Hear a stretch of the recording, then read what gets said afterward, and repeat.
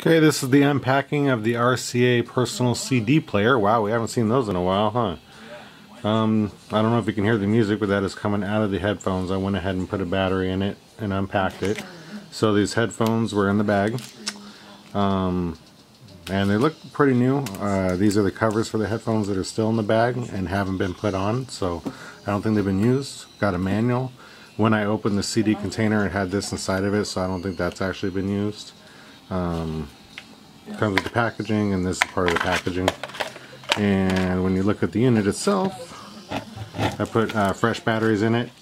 Um, those are my tester batteries so you don't get those but you can put your own two it takes two double A's um, that you can put your own in. Uh, a couple small scratches and such on top. Um, and that must be just from floating around on the thing. So you can see the kind of surface scratches on camera can actually see them on camera better than naked eye. So that's that, and then you can hear the station's not in clear, but I think it's actually probably a combination of the headphones and me not tuning the station. Um, so you should be able to hear music.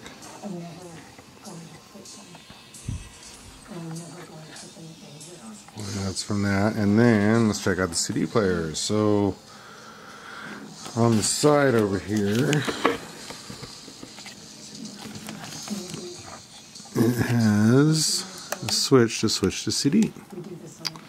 And then that also turns it off. So your thing's off, and then you go ahead and hit your play button.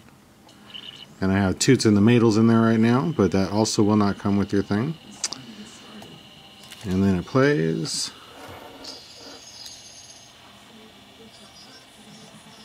And I have the headphones up to the thing right now, but the headphones work. So all seems to work pretty good. Hit the buttons. Looks like we skip. And I remember back in the day if you would shake your thing, but there's no skipping um, at all.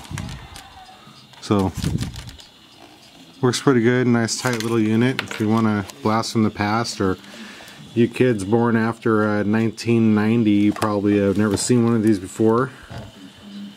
Yeah, I remember I got one of these in 1995 and I thought I was the coolest kid on the block. They were about $125 back then. Alright, happy bidding. We're going to do this uh, 99 cent start auction and just pay for shipping. Um, it's probably a 1 plus a 2 pounds, so unfortunately it's going to be, I don't know what's up there. Hopefully we stay at 15 ounces or less and it'll be about 5 bucks for shipping. Once you get into 1 2 pounds, it uh, takes a little bit more. But hopefully shipping stays cheap. I don't make anything on shipping, so it'll just be whatever the weight is.